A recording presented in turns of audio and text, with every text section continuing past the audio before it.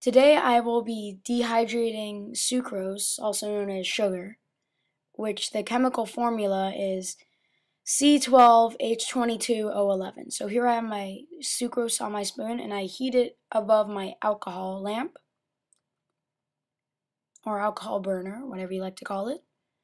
And this process takes a long time. It's easier just to use sulfuric acid to dehydrate the sucrose, but I don't have any, unfortunately.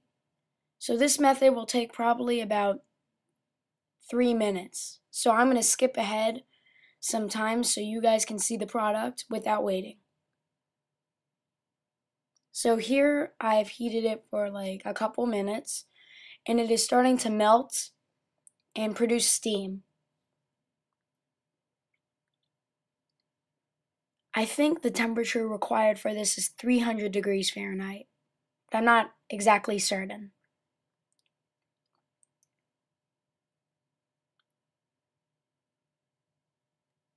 So here I'm just going to introduce it to the flame to get it going even more.